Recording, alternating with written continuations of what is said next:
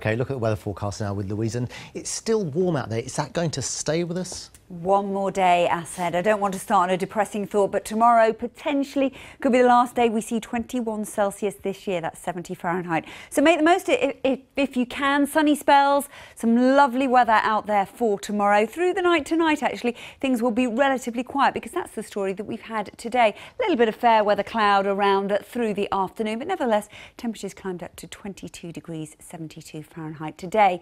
And overnight tonight, we see the cloud coming and going, a little bit of patchy mist and fog forming, and maybe one or two showers just cropping up to the south of the capital. But not a cold night. Look at these temperatures 10, 13 degrees generally across us. So we start off tomorrow then, maybe a little bit of mist and murk first thing in the morning. That'll lift quite readily away. The winds will start to swing round to more of a southwesterly and actually pick up and that'll help just break up the cloud and give us a little more sunshine tomorrow. So all in all, not a bad day in prospect. 19 to 21 degrees, 70 Fahrenheit. Not bad for the, for the early half of October. But things will start to change.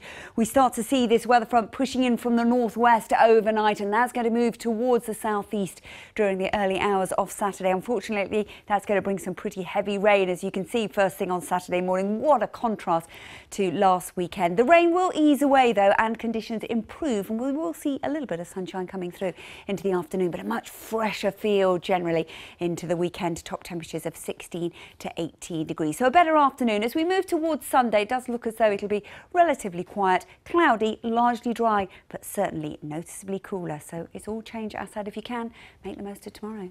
That's a good tip. Thanks very much, Louise. Thanks.